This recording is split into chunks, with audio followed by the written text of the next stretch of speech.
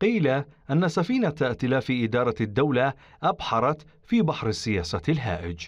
سفينة تجمع على متنها الإطار التنسيقي والحزبين الكرديين وتحالفي السيادة والعزم وكتلة بابليون.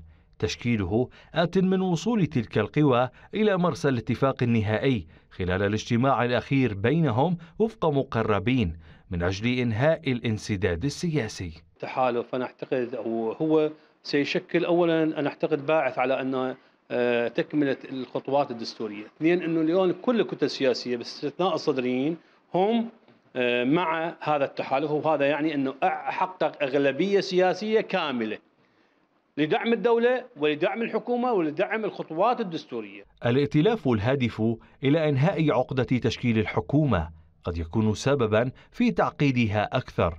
إن تم دون التفاهم مع زعيم التيار الصدري وفق بعض القراءات. بعض أقطاب هذا الائتلاف لا ترغب بالمضي دون السيد الصدر. أما الترويج مع عدم الإعلان الرسمي قد يكون لجس نبض الصدر. الذي يبقى باب الائتلاف له مفتوحا.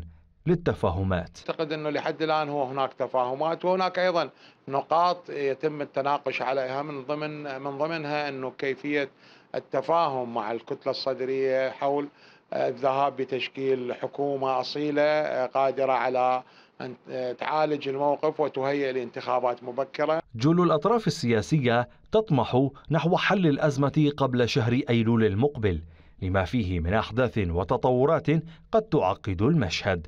لكنها تخشى المسير باتجاه معاكس مع السيد الصدر معطيات لمعادلة ما تزال ملامح مخرجاتها ضبابية حتى الآن من العاصمة بغداد بدر الركابي.